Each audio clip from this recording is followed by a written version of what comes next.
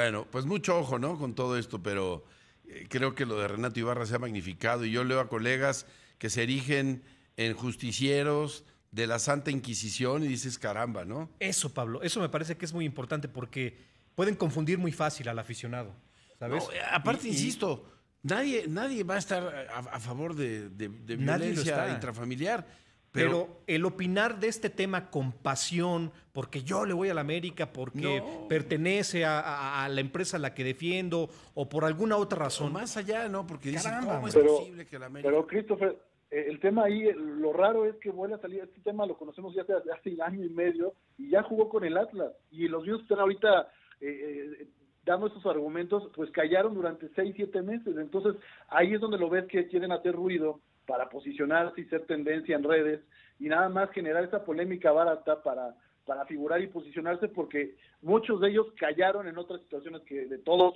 que todos sabemos y que, que se ha cometido en el fútbol a lo largo de la historia del fútbol mexicano y muchos de ellos callaron y callan situaciones. Entonces, a mí lo que me molesta es ese rasero para cuando me conviene sí opino de esto, para cuando no me conviene me callo. Entonces, ahí es donde no nos podemos convertir en jueces de, todo absolutamente como si no tuviéramos, este, perdón la expresión, pero la colita sucia. ¿no? Bueno, pues muy bien.